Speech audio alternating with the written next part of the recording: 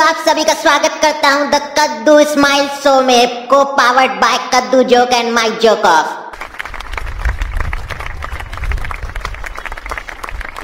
आज के हमारे स्पेशल गेस्ट है डाइन की जवानी के डायरेक्टर टकला नेता और उनकी एक्ट्रेस हसीना। और कद्दूपुर के देश के भक्तों, अपने गोले की भक्ति करो। के डायरेक्टर प्रोड्यूसर और एक्टर काला कद्दू जी। जोरदार तालियों से इनका स्वागत किया जाए। हाँ तो सर, काला कद्दू जी मैं आपसे एक सवाल पूछना चाहता हूँ। आपको हमारे शो में आके कैसा लग रहा है? क्या आपको कभी लगता था कि आप हमारे शो में कभी आ सकते हैं? हमको तुम्हारे शो में आकर बहुत ज़्यादा मज़ा नहीं आ रहा है, क्योंकि तुम हमको मेहमान की तरह बुलाए हो। हम चाहते थे कि इस शो को हम होस्ट करें। और रही बात तुम्हारे दूसरे प्रश्न की तो तुमको मालूम नहीं है ये शो होस्ट करने वाले हम थे। वो तो हम ये चिल्लर उल्लर में काम नहीं करते हैं, इसीलिए तुमको दे दिया करने के लिए। हाँ तो आपको ये शो होस्ट करने का मौका दिया जाएगा। हाँ तो काला कद्दू जी, एक बात बताइए, आपको लगता है ऐसा कि आपकी फ़िल्म आपके फैंस को पसंद आएगी? अरे फैंस का क्या है? फैंस तो मूडी होते हैं। अगर आप उसको अच्छा से एंटरटेन कर सकते हैं, आपके कंटेंट में दम है तो बोलेंगे फैंस हम साथ साथ हैं। वरना हम आपके हैं कौन? फैंस और फ़ैन में एक सिमिलर चीज़ होता है, पता है आपको? जैसे पंखा को हम लोग जब तक लाइन देते हैं, तभी तक वो हवा देता है। उसी तरीके से फैंस को जब तक हम लोग मज़ा देते हैं, तभी तक वो लोग सपोर्ट करता है। हाँ तो सोचिए काला कद्दू जी, अगर फैंस को एसी बोला जाता तो लाइट जाने के बाद भी मज़ा आता ना? काहे कि एसी का असर तो लाइट जाने के बाद भी रहता है। हाँ ये लाइन आप बहुत मस्त बोले। बहुत अच्छा लगा हमको। दिल को छू गया हमारा। हाँ तो काला कद्दू जी, एक बात बताइए। दर्शक आपसे जानना चाहते हैं कि आपने अपने जीवन में बहुत गरीबी देखी थी। बहुत स्ट्रगल करके आप इस मुकाम पर पहुँचे हैं। तो दर्शक आपसे ये जानना चाहते हैं, लोग जब अमीर बन जाते हैं तो वो क्या भूल जाते हैं? देखिए गोरा कद्दू जी, अमीर होने के बाद हमारे हिसाब से ज़्यादातर लोग दो चीज़ भूल जाते हैं, एक कपड़ा और दूसरा संस्कार। आप तो जानते ही होंगे जैसे जैसे लोग अमीर होते हैं, कपड़ा छोटा होते चले जाता है। फटा हुआ पहनते हैं, पता नहीं कैसा कैसा पहनते हैं। लोग अमीर होने के बाद संस्कार को छोड़कर अपना संस के लिए बहुत सारा कार खरीद लेते हैं। अब पहले देखिए, जब कोई गरीब होता है तो अपना बड़ा बुज़ुर्ग का गोड़ लगता है। गोड़ समझते हैं ना? पैर पैर। पैर छूता है। सूद कर पैर छूता है। पूरा झुक कर पैर छूता है। अमीर होने के बाद आधा अधूरा पैर छूता है। ऊपरे कमरे तक हाथ लगता है वो। नीचे झुकता ही नहीं है। और पैसा आने के बाद उम्र देखकर पैर नहीं छूता है, सामने वाले का पोजीशन और पैसा देखकर पैर छूता है। ये सब परिवर्तन हो जाता है, पैसा आने के बाद ज़्यादातर लोग में। हाँ ये बात तो काला कद्दू जी आपने बिल्कुल सही बोला। हाँ तो टकला नेताजी। अरे, रुकिए गोरा कद्दू जी, सभी से आप ही पूछिएगा क्या? हमको भी मौका दीजिए, बोले हम मौका देंगे होस्ट करने का। थोड़ा हमको भी मौका दीजिए, टकला नेता से रूबरू होने दीजिए। हम दोनों का जुगलबंदी बहुत अच्छा लगता है लोग को। हाँ हाँ कीजिए आप, कीजिए टकला नेताजी से सवाल। अरे तुमको पूछना है, पूछो। हम इससे बात नहीं करेंगे। लेकिन हम तो तुम्ही से बात करेंगे। क्योंकि आई लाइक इट क्योंकि हमको तुम्हारा जला पर नमक छिड़कने में अच्छा लगता है। बहुत बढ़िया लगता है, आनंद आता है, दिल से मज़ा आता है। तुम जो अपना फ़िल्म का नाम रखे हो डाइन की जवानी, कहा सोच कर रखे? इतनी मस्त हीरोइन है। इसके हिसाब से तो नाम होना चाहिए फ़िल्म का, हसीना की जवानी। और तुमको डाइन की जवानी चाहिए थी तो सामने बैठी है ना। खुशी जी उनको कह नहीं ले लिए। अरे वो डाइन का बुढ़ापा है डाइन की जवानी थोड़ी ना है।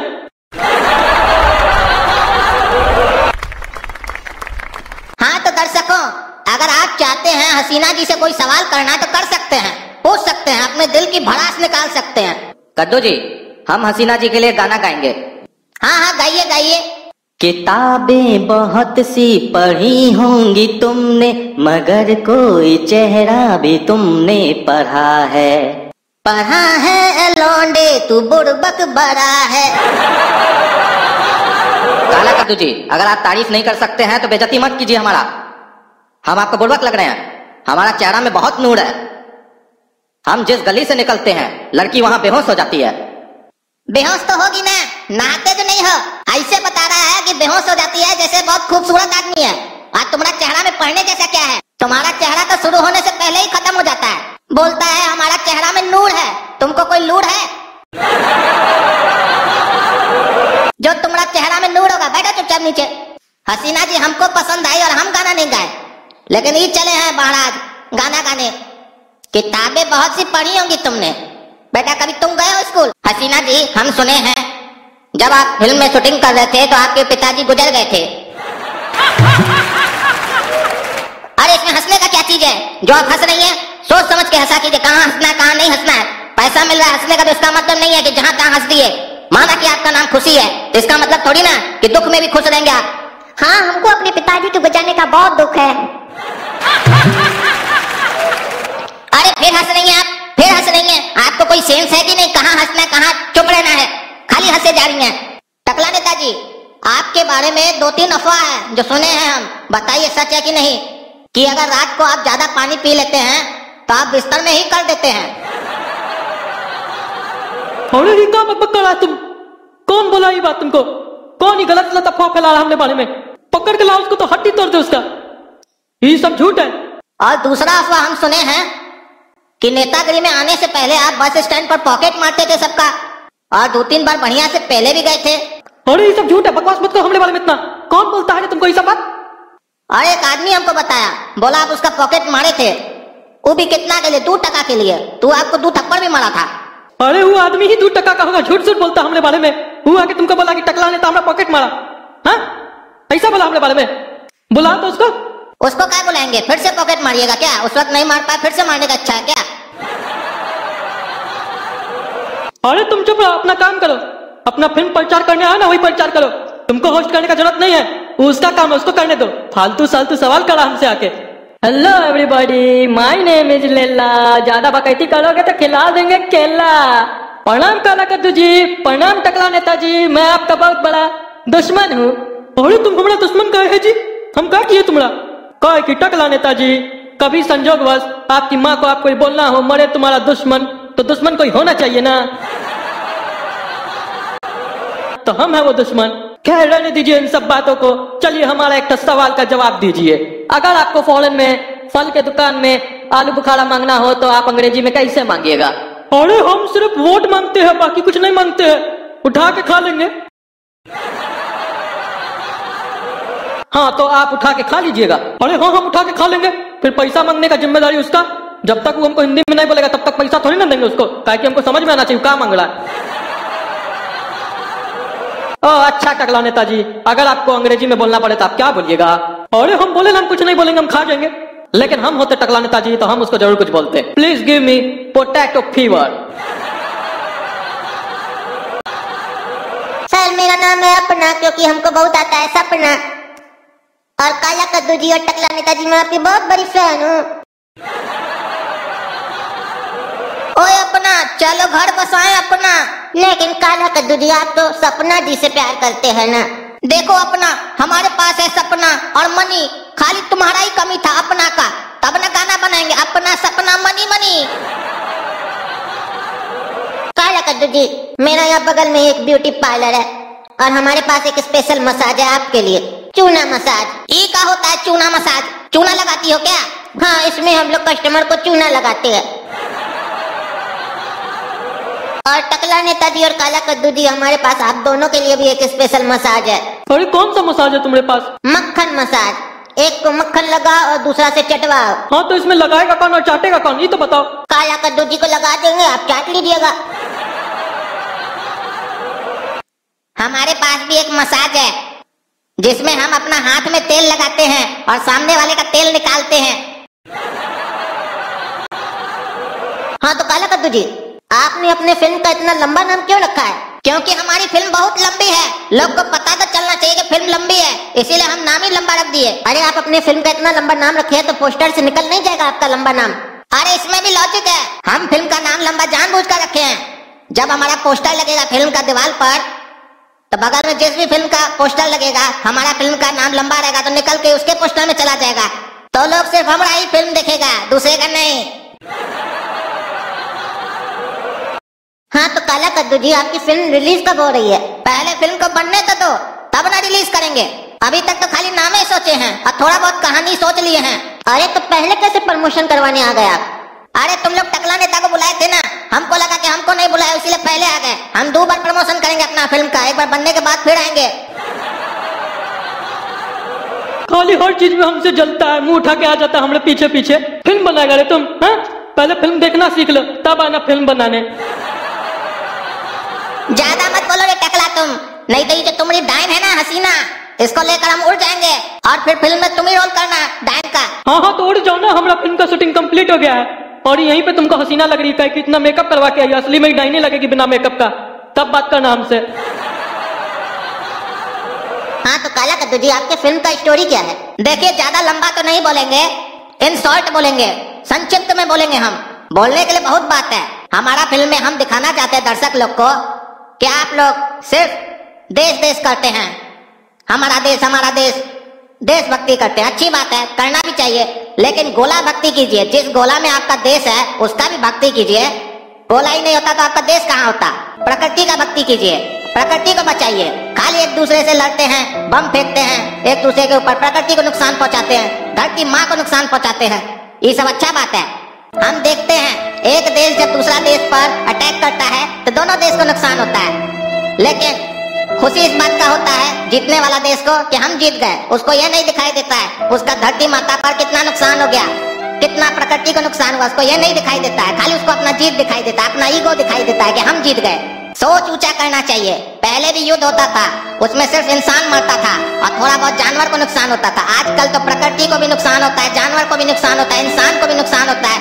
ये सबको युद्ध है, सिर्फ़ लालच है थोड़ा सा ज़मीन का लालच। हम इस फ़िल्म में मैसेज देना चाहते हैं। कि अपना प्रकृति से प्यार करो। अपना गोला से प्यार करो, जिस गोला में तुम्हारा देश है। गोला ही नहीं तो देश किस बात का ये बात सबको पता है कि युद्ध से कभी किसी को कोई फ़ायदा नहीं होता है, सिर्फ़ नुकसान होता है। लेकिन आदमी अपना थोड़ा सा लालच के लिए, थोड़ा अपना ईगो को सेटिस्फाई करने के लिए युद्ध करता है। सामने वाले को दिखाना चाहता है कि हम तुमसे ज़्यादा ताकतवर हैं। लेकिन उसको ये नहीं मालूम होता है कि वो ताकत के नशा में अपना ही नुकसान कर रहा है, कहीं ना कहीं।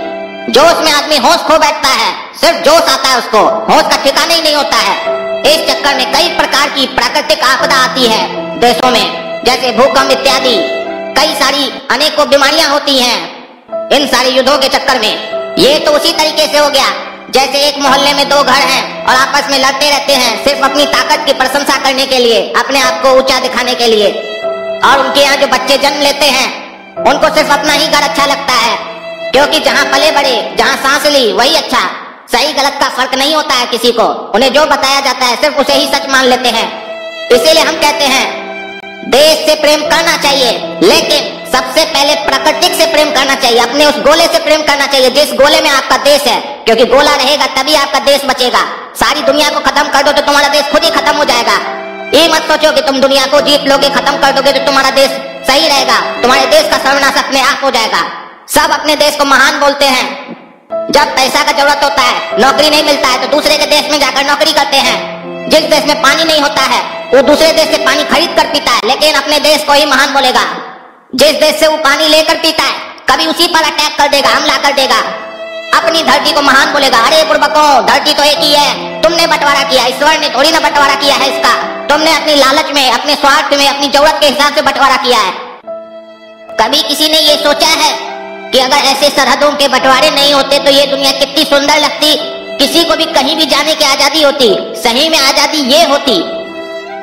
सभी देश अपने आप को महान बोलते हैं, बहुत अच्छी बात है। लेकिन कभी ये सोचा है कि ये पूरी की पूरी सृष्टि ऊपर वाले की बनाई हुई है? तो हम अगर सिर्फ़ अपने आप को महान बोलते हैं और दूसरे को कम आंकते हैं, इसका मतलब हम ईश्वर के बनाई हुई चीज़ पर प्रश्न उठा रहे हैं। ईश्वर के लिए सब एक समान है। कई लोग ये बोलेंगे कि ये सरहदें नहीं मिट सकती हैं। प्रैक्टिकल लाइफ में ये पॉसिबल नहीं है। तो वो मुहावरा याद नहीं है। दुनिया में कुछ भी असंभव नहीं है। अगर आप संभव करना चाहते हैं, आप में हिम्मत है संभव करने की तो कुछ भी असंभव नहीं है। सिर्फ़ सच्ची लगन होनी चाहिए, ईमानदारी होनी चाहिए। बलिदान देना होगा। त्याग करना होगा, सही निर्णय लेना होगा, तभी सब कुछ संभव है। हाँ ये बात ज़रूर सही है कि उसमें कुछ टाइम लगेगा। तो लगे टाइम क्या दिक्कत है? हम कार्टूनों में एक बुरी आदत होती है कि हमें जो समझाया जाता है, जो सिखाया जाता है, जो दिखाया जाता है, जो बचपन से बोला जाता है, हम उसे सच मान लेते हैं। अरे ईश्वर ने आपको अपना दिमाग दिया है, अपना हाथ पैर दिया अपनी बुद्धि दी है, क्यों दी है आपको अपनी सब चीज़? अगर आपको दूसरे पर ही डिपेंड रहना है, दूसरे की सारी बातों को मानना है तो अपनी चीज़ की क्या ज़रूरत है? अपना भी इस्तेमाल करिए। कद्दूपुर के लोगों को मैंने कई बार ये बात बोली है, लेकिन वो समझते ही नहीं है। हम सब एक ही गोले के निवासी हैं। हमारा माँ है वो गोला। तो माँ के किसी अंग को सिर्फ़ प्यार मत कीजिए, पूरी माँ को प्यार कीजिए, उसकी आत्मा से प्यार कीजिए, प्रकृति से प्यार कीजिए। ईश्वर की एक एक चीज़ से प्यार कीजिए, तब देखिए ज़िंदगी आपको कितनी अच्छी लगेगी। हम कद्दूपुर का लोग को ये भी मैसेज देना चाहते हैं कि देशभक्ति सिर्फ़ युद्ध के मैदान में और जवान में नहीं होना चाहिए। देशभक्ति दिल में होना चाहिए। और अगर सिर्फ़ दिखाने के लिए करना है तो उसे करने की कोई आवश्यकता नहीं है। इतना ही देशभक्ति करना है तो देश से गरीबी मिटाओ, लोगों को शिक्षित करो। आपसी मतभेद मिटाओ और सरकार को टैक्स ईमानदारी से और समय पर भरो। काला कद्दू जी आपका विचार तो बहुत ऊँचा है। हम आशा करते हैं कि आप दोनों की फ़िल्म बहुत चले। ये सब भी कोई फ़िल्म है? आजकल लोग जवानी देखना चाहता है। ये गोला नहीं भले ही डाइन का जवानी हो। सब तो मेरी तरह ठीक नहीं होता है कि जवानी ही देखेगा।